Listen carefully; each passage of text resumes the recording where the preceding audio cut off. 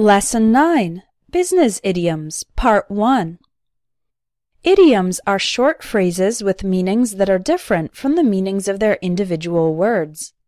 Idioms are different from slang.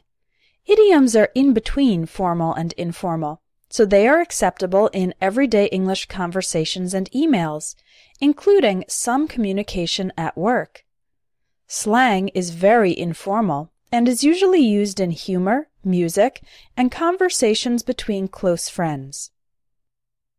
Formal English is used in official business, legal, and academic areas. Casual English includes idioms and is used in everyday conversation and emails. And informal English can use slang. You'll find that in humor and music. Slang is almost never used in business English, but idioms are often used in conversations and emails, so I'm going to introduce you to some common idiomatic expressions. This is the method we'll use for learning the idioms. First, look at the example of the idiom in context. Then, try to guess the meaning of the idiom. Then, wait for the answer and explanation. Why do I recommend these three steps? Well, it's important to try to figure out the meanings of the idioms from the context. This helps you think actively about the expressions and learn to understand new expressions faster. Ready? Let's begin. Number one. We showed the president 20 ideas for new products, but she didn't like any of them, so we had to go back to the drawing board. Does go back to the drawing board mean A. Ask other people for advice, B. Start again from the beginning, or C. Reuse a good idea from the past?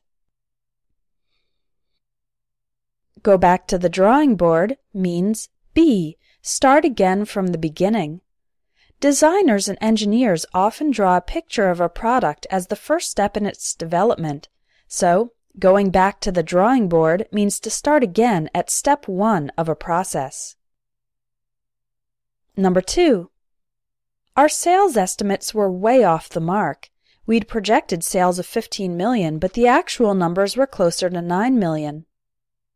Does way off the mark mean A, too optimistic, B, higher than average, or C, very wrong or inaccurate. Way off the mark means C, very wrong or inaccurate. This idiom comes from the sport of archery, where arrows that do not hit the target are said to be off the mark. The word way means very, so way off the mark means very inaccurate.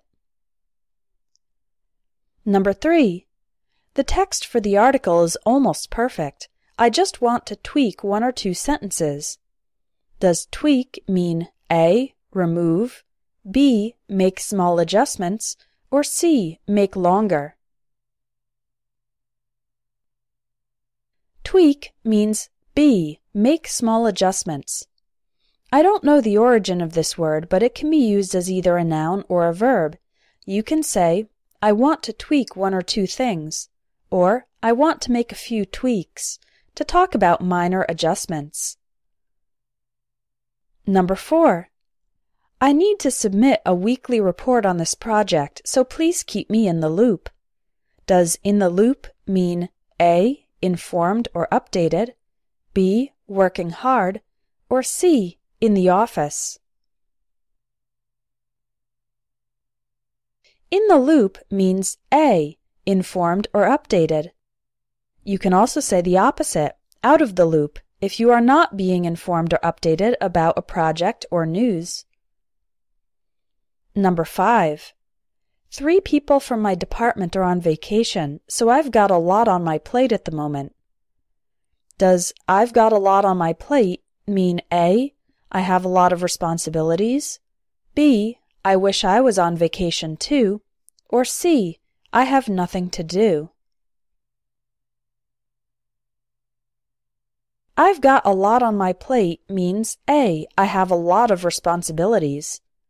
If you go to a buffet and you put a lot of food on your plate, then you are obligated to eat it all. So, having a lot on your plate means you have many tasks or responsibilities. Number 6. The rule of thumb is to reinvest no more than 30%, but it's okay if you go over that number occasionally. Does rule of thumb mean A. Minimum amount, B. Strict limit, or C. General practice? Rule of thumb means C. General practice. A rule of thumb is a general rule or general practice that may have exceptions in some situations. This is your thumb. If you use your thumb to measure something, you can get a general idea, but the measurement will not be perfectly accurate.